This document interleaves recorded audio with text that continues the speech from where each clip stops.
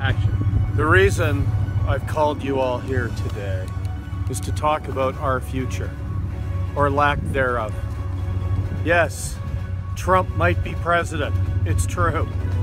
This is what America is going to look like in just a few months.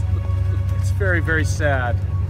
I'm gonna lay down now and just let them have their way with me. They're not paying attention, by the way, Yeah, Mike. yeah. Sorry, sorry. Come closer. Could you come closer? Come closer. Come please. closer. Gather Yes. around, please. That's right. Gather around. Yes. Mike's got something to say. The future of Trump. it's here. I've been to Trumpville and it's not pretty. So, continuing my tour here, I feel it's time to show you the latest version of Trump Tower that we'll be going into. Also, very depressing. Let's go. Follow me. Changing from Stevens to Trump.